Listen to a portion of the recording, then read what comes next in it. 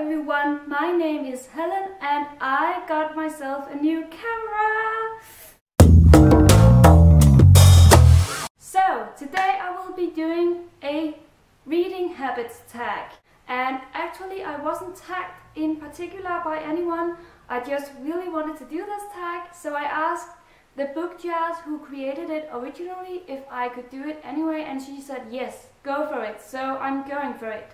The reason why I wanted to do this tag is because whenever I follow YouTubers, booktubers, I always want to go for the videos first, which are about reading habits. How much you read, which books you read. So, I really want to do this tag and yeah, let's get going. The first question is, do you have a place at home for reading? And yeah, I do. I have my couch. Who doesn't? I love my couch and it is comfy and has nice pillows and a blanket and I just love being comfy and maybe make myself a cup of coffee. So my couch is definitely my regular reading place. Question number two, bookmark or random piece of paper. I really really love bookmarks. I think they're pretty but I tend to use random pieces of paper. I don't want to spend money on bookmarks. I just want to have them and I don't always have them so I tend to just grab a piece of paper. But Actually, these days I do have a very pretty bookmark, I think. It's purple and it's pink and it's from Sweden. I went to Sweden during the summer. This is the one that I use these days until it disappears. That means whenever I have a bookmark, I use it, but I normally use just a random piece of paper. Question number three is, can you just stop reading or do you have to stop after a chapter?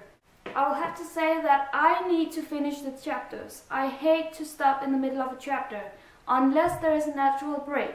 Actually, that kind of stresses me out sometimes because when I have something to do on time and I just need to finish the chapter, I feel like I have to stress through the pages. So I'm not saying that that's the best way to do it, but I just like reading the chapters. Question number four is, do you eat or drink while reading? Yes, I do drink. I drink lots of coffee or whatever I feel like. Soda, iced tea, milk. No, not milk. But I don't really eat while reading just because I don't like having greasy fingers and turning the pages and then the pages get sticky and I just don't like that. I like my books to be clean and nice all the time. I sometimes perhaps do a little cracker while reading if I feel like it, but it's not something that I normally do.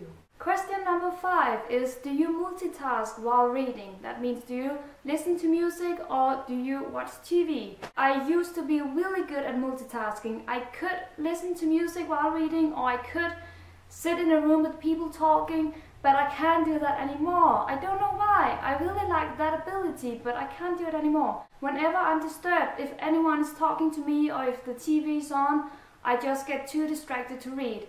I mean, I read the page, but nothing gets in and I need to reread. Question number six is if I read one book at a time or several books at once.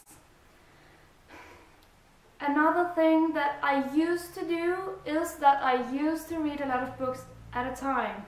Just because whenever I felt like reading a book, I didn't want to just wait until I had finished the one I was doing. I wanted to read it right away. You know, if you've just bought a book and you feel like you really want to read it, then you should just do it. But these past months, I have had a tendency to finish my books one at a time. Just because I like getting the feeling of emerging in the story and only focusing on one story at a time. I like it when I only have one story to focus on. So, yes.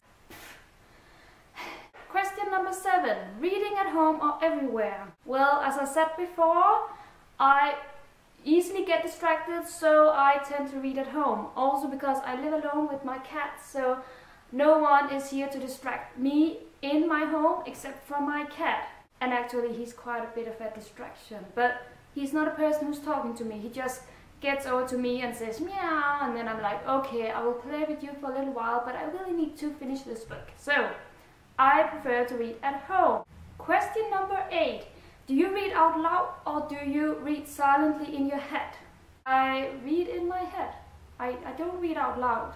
I think that I would find that very weird if I started to do that just because I would feel like an old person. I don't know, an old person talking to herself. So I read in my head. And that brings me to question number nine. Do you read ahead or do you skip pages? I would never read ahead. Why would you ruin the story?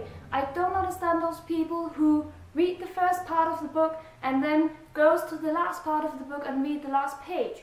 Because why would you do that? Then you know what is going on and then why would you want to read the rest of the book? So I really don't understand why anyone would want to read ahead, unless it is a book that you know you're not going to finish. You know it's too boring or you're not interested in it, then perhaps I would read ahead just to see if I'm missing out on anything important. But I've never done it so far just because I love to read the whole book and not just the beginning and the end. I used to have a friend who told me she always read the last page before even starting the book, just so that you could know if she would want to read this book or not. But I don't know, can you really figure out what the book is like just by reading the last page? I don't know, I wouldn't be able to. I love to read my books entirely. That brings me to question number 10. Breaking the spine or keeping the book as new? Well, let me see. This is one of my paperbacks and I I'm guessing that paperbacks are the only books that you can break the spine on. And as you can see, I've read this book one time. It's Cecilia Ahern, by the way. Thanks for the memories. But as you can see, it looks pretty new to me. I don't like to break the spine. Why would you do that once again? I like my books to be clean and pretty. And I hate it when I lend people some books and then they return the books to me with broken spines.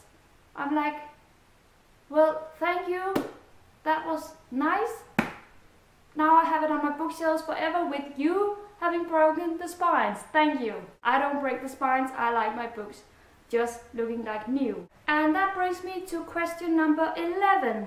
Do you write in your books? I do if it is a book for work or for school. When I was a student, I did tend to write in my books or highlight some lines just because I thought that some of the information was imp important to remember, but I don't write in my books that I read just for fun.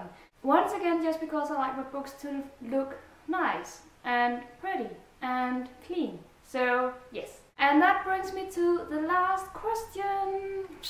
Who do I want to tag for this reading habits tag? Well, I'm pretty new to this booktubing thing, so I'm still learning about other booktubers and that means I don't have a whole lot of people to choose from.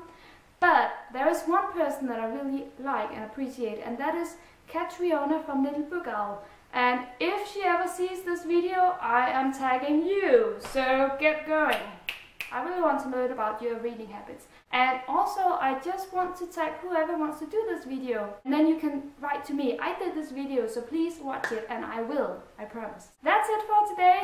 I am so happy to have this new camera. I hope you can see there's a difference in quality and I will be back soon with another video. So have a nice day everyone and happy reading.